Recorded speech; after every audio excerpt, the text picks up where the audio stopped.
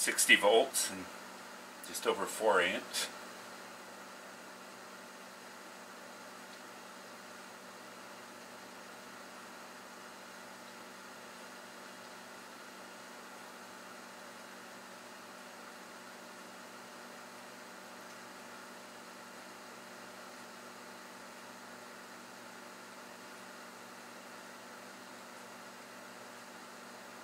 Must just be a little bit shorter. It's a lower capacitance than the carbon rod I had once the glass broke off.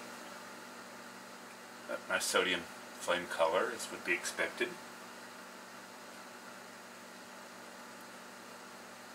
There's 120 volts at 5 amps.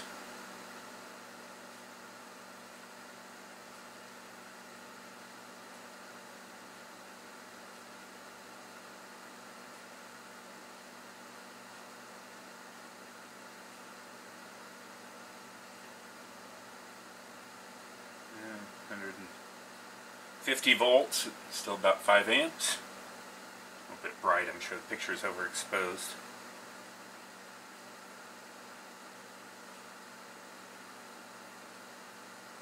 There's 165 volts, about 5 amps.